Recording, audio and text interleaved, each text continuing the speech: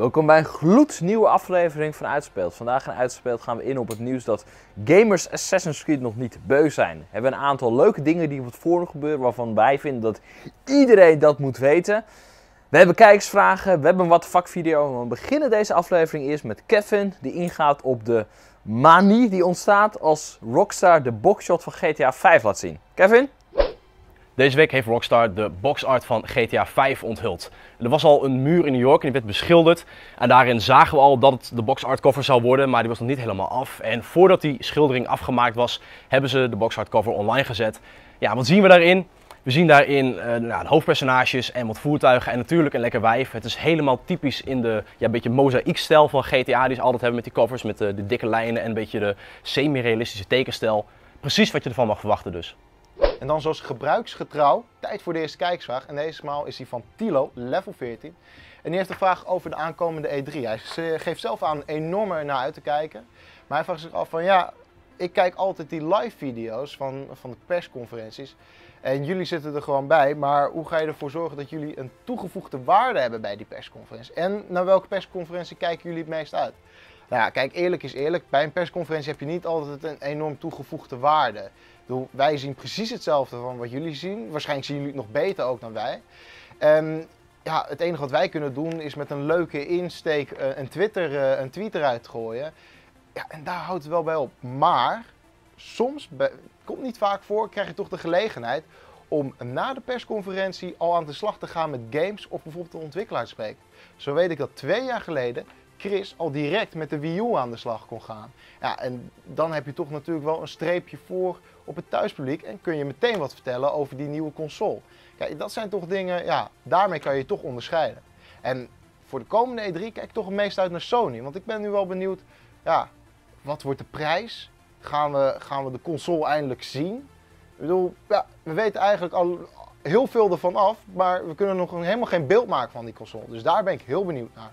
Gamers zijn blij en het is onze taak ze blij te maken. Al dus Jani Mala van Ubisoft Montreal. En met deze quote verweert hij zich eigenlijk tegen de steeds verder opkomende geluiden dat gamers het een beetje beu zouden zijn dat er elk jaar een nieuw deel uit de Assassin's Creed serie zou opkomen. Nou ja, Mala zelf zegt van gamers zijn nog steeds heel erg blij met die serie, uh, want ze kopen elk jaar de games weer in grotere getalen. En ja, laten we eerlijk zijn, Ubisoft is natuurlijk een commercieel bedrijf en gelijk hebben ze. Als steeds meer mensen Assassin's Creed uh, blijven kopen en de kwaliteit ook gewoon van hoog niveau blijft, ga vooral door met elk jaar Assassin's Creed uitbrengen en de gamers nog blijer maken dan ze zijn. Want dat is jullie taak. Jani Mala. Ik wil een uitspeel even een lans breken voor een game die ik deze week heb uitgespeeld, namelijk Army of Two The Devil's Cartel. Deze week had eh, Kevin natuurlijk de review geschreven over de game en gaf de game een 7 min. Nou ben ik het wel met het cijfer helemaal eens, want er zitten echt een hoop dingen in deze game die echt gewoon niet goed zijn. Uh, tekstjes die inladen, omgevingen die soms niet helemaal mooi uitzien, uh, je partner die, die meeloopt en dan achter een object stil blijft staan en je dan knife naar een deur toe moet uh, slaan om verder te gaan uh, komen. Maar er zit één ding in dat zo ongelooflijk vet is en dat is de overkill modus. Daarna ga je eigenlijk in een soort van slow motion-achtige modus en kun je alles zo gruwelijk hard kapot schieten. Het is eigenlijk gewoon de expendables onder de videogames. En ik heb me gewoon enorm mee vermaakt. Ondanks dat het eigenlijk technisch gezien gewoon geen goede game is. Maar ja, als jij iemand hebt waarmee je samen wil gaan spelen, dan is uh, Army of Two The Devil's Cartel wat mij betreft gewoon een hele leuke game om te halen. De tweede kijkersvraag die is van Wangermes en die vraagt ons... Een game als Bioshock en Bioshock Infinite hebben een kritische kijk op verschillende politieke en ideologische stromingen... zoals communisme, fascisme en katholiek geloof. Denken jullie dat de westerse wereld er ooit klaar voor zal zijn om een game uh, die het Joodse geloof en de islam behandelen... en daar dan ook misschien kritisch over handelt? Of vreest men kritiek die zou kunnen komen vanuit die hoek? Nou ja, dat is natuurlijk een beetje een, een ja, moeilijk onderwerp, want de Joden zijn natuurlijk onderdrukt in de Tweede Wereldoorlog en ze zijn eigenlijk een soort van, ja, weet je, ze zijn altijd een soort de pineut en ze hebben al zo zwaar gehad dat mensen een beetje bang zijn om daar aan te komen. Weet je. Mensen durven niet zo snel de Joden belachelijk te maken, want uh, ja, die hebben het al zwaar te verduren gehad. Het is een groep, daar mag je niet zo snel aankomen eigenlijk, zo wordt het beschouwd. Ja, en de islam, nou ja, dat, hebben we vaker gehoord. Uh, zodra je bijvoorbeeld Mohammed wil afbeelden in een serie, wat dan ook, dan worden mensen heel snel boos vanuit die hoek. En uh, dan worden er allemaal ja, doodsbedreigingen rondgeslingerd op internet en wat dan ook. En ja, ik persoonlijk vind dat je dat moet kunnen. Ik vind dat die geloven kritisch behandeld mogen worden, net zoals elk ander geloof. Hè? Gelijke monniken, gelijke kap. Maar of de wereld daar klaar voor is, ja, mo- momenteel sowieso niet. Ik bedoel, ja, Joods geloof in, eh, dat, dat gaat wat sneller. Ik denk dat ze daar niet zo, eh, ik denk dat je daar sneller wat geintje over kunt maken. Eh, de islam ja, is nodig in een staat van ja, ehm, ontwikkeling. Ze zijn nog niet helemaal zelfverzekerd eh, kennelijk en ze zijn heel bang dat mensen hun geloof belachelijk maken. En ze staan niet wat dat betreft op gelijke voet met christendom, want grapjes over Jezus, dat mag allemaal wel, maar grapjes over Mohammed, brand je vingers er niet aan. Dus dat kan nog wel enkele tientallen jaren duren, misschien nog wel een jaartje of honderd, voordat mensen echt bereid zijn om dat soort grappen te maken. Er is weer een verhoogde activiteit op het forum waargenomen. Het is weer tijd om een toplijst samen te stellen. Dit keer niet over films, nee, nu gaan we het hebben over de beste IP's van deze generatie.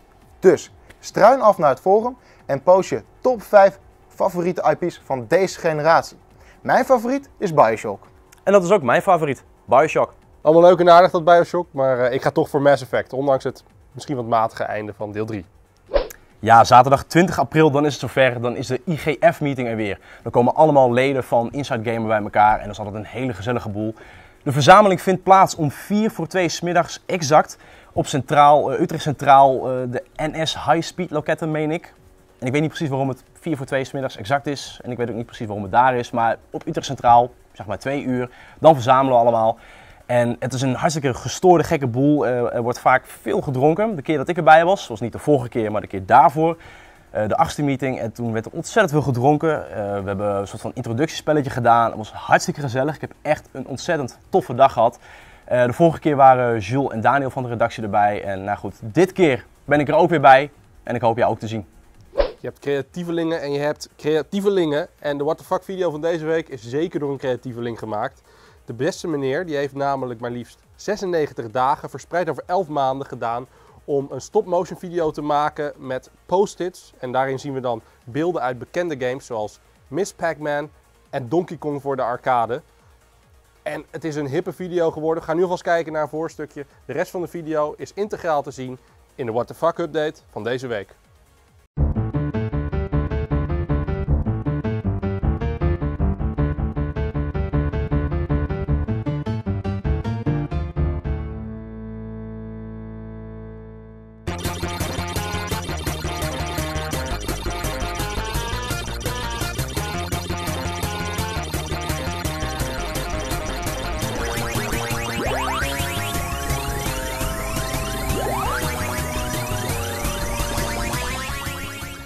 Ja, dan zijn we alweer aangekomen bij de derde en tevens laatste kijkersvraag van deze aflevering. En die eh, vraag is van Tad. En hij vraagt, wat vinden jullie ervan dat een prominent lid zoals Mehmet Oskan deze mooie site ineens verlaat? Nou Tad, dat zal ik je vertellen, met een pen in de hand, want dan is het extra serieus. Ik vind het jammer. Eh, er zijn natuurlijk heel veel mensen die, die Mehmet Oskan een vervuiling van de site eh, vinden. Want zijn memberartikel, als je grammaticaal naar kijkt, dat is niet al te best. Maar ik vind het zelf zo mooi dat zo iemand gewoon zo gepassioneerd over zijn hobby wil vertellen. Met andere gamers in contact wil komen over dat soort dingen. En eh, ik behoor zelf tot het kamp eh, die het gewoon jammer vindt dat, dat hij weggaat. Ik begrijp het wel. Eh, ja, het is ook niet leuk om de hele tijd belachelijk gemaakt te worden. Maar ja, van mij mag hij gewoon over een week of twee weer terugkomen. En dan zullen we hem met open armen ontvangen.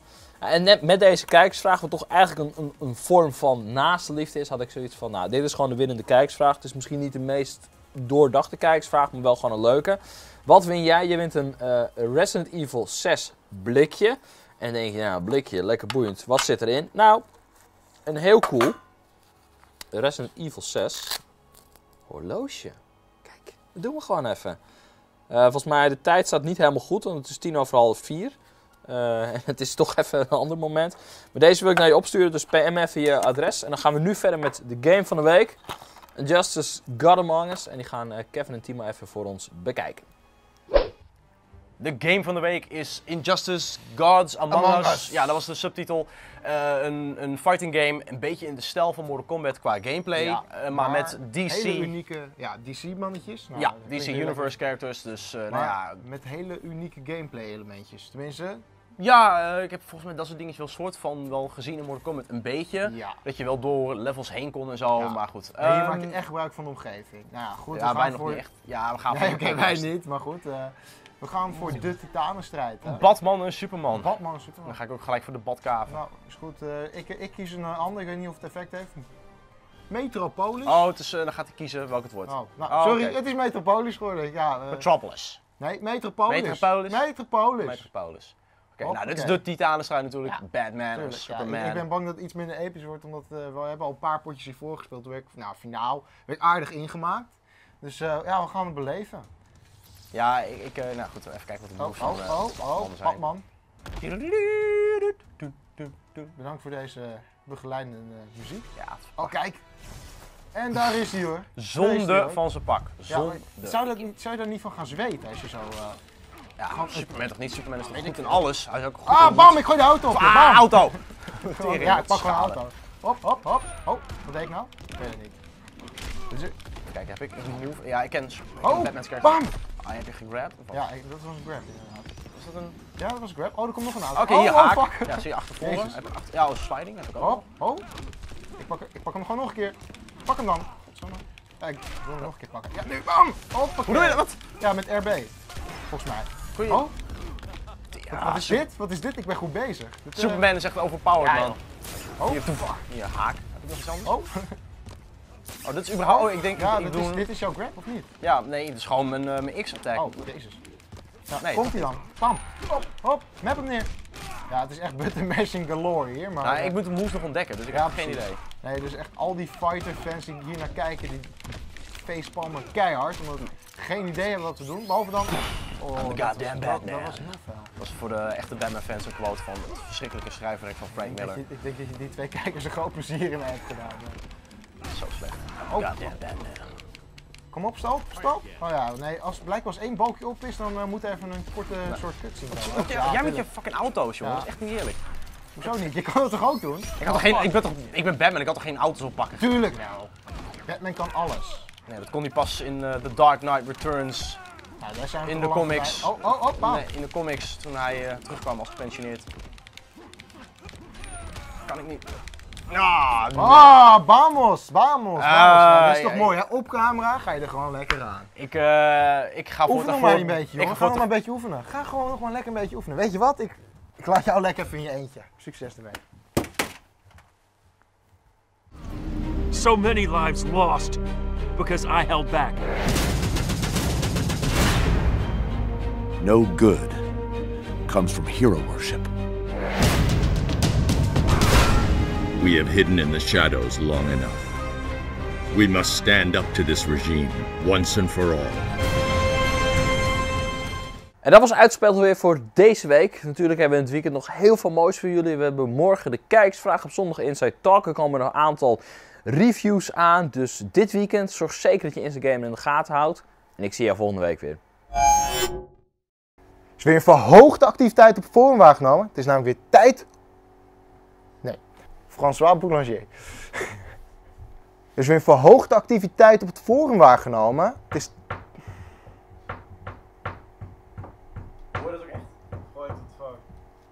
Er is weer een verhoogde activiteit op het forum waargenomen. Het is namelijk tijd om weer een toplijst samen te stellen. En ik ben bang dat je dit hoort. Dus, godverdomme. Es ist wieder ein verhoogte Aktivität auf dem Forum wahrgenommen. Jetzt aber nicht über Films, jetzt geht's über Type ist. Nein, nein, nein, nein!